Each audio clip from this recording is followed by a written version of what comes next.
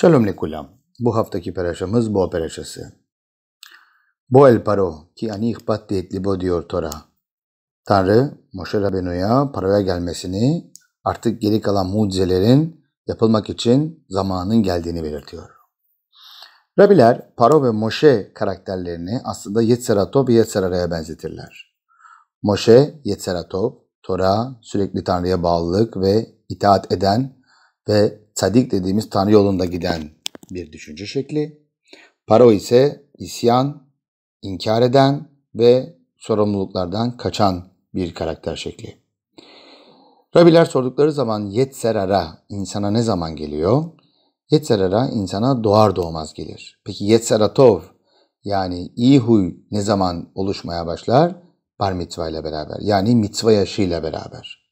Erkeklerde de kızlarda da. Ve bu şekilde Peraşanın sonuna baktığımız zaman aslında Bo el paro ki ani ihbat detli bo gel paroya artık yavaş yavaş Yetzeratov girmeye başlaması lazım. Çünkü Yetzerara artık tamamını tamamladı şeklinde. Yani artık Yetzeratov'un gelme süreci başladığını vurgulamak için Peraşanın sonuna bakıyoruz. Biz aslında tefilinden bahsediliyor. O da eline koluna şey koluna ve başına bağlayacaksın ve bu şekilde artık Tanrı'ya daha bağlı kalacaksın mitvası. Ukşartam leot aladeha veya yürütütofot beneneha gözlerin arasında bulunacak şeklinde. Bizler bar mitva veya bat mitva yaşıyla beraber daha çok mitvaya ve sorumluluğa geçmiş oluyoruz. Ve o yüzden de tefilin mitvası aslında her anlamda bize destek olabilmesi için büyük bir önem taşıyor. Şöyle gerçek bir hikaye anlatıyorlar. Bir tane yaşlı bir adam hayatı boyunca insanların tefilin takması için çaba sarf etmiş. İnsanlardan para toplamış, insanlardan yardım almış, takmayacak olan veya imkanı olmayacak ailelere tefilin seti ve tallet seti hediye etmiş Parmiza zamanlarında. Ve bu şekilde en kötü zamanda bile devam etmiş. Yani insanların bağış yapmadıkları zamanda, para bulamadığı zamanda da hiçbir çocuğu bu şekilde imkanı olmayan ve takmayacak olan çocuğu tefilinsiz, talletsiz bırakmamış.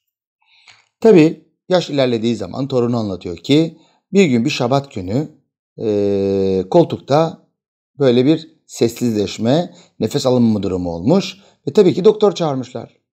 Tabii doktor gelmiş ama maalesef doktorun kararı o dede vefat etmiş olduğuydu. Ve tabii ki yatırdılar ve üstünü örttüler. Çünkü şabat günü bekliyorlar. Motsaya şabatta e, merhumu kaldırabilmek için. Tam avdala yapıyorlar. Bir bakıyorlar dede uyanıyor. Bütün aile korkuyor. E, çünkü doktor öldü kararı veriyor ve dede uyanıyor.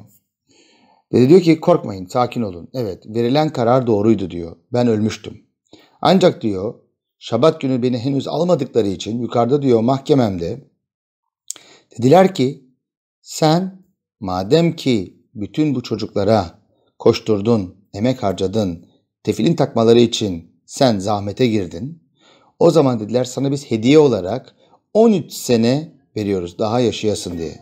Ve gerçekten geri geldiği zaman e, ailesine anlattığı olayda ben 13 sene daha yaşama hakkı elde ettim ve yaptığım mitva beni bu şekilde yönlendirdi açıklamasında bulunuyor.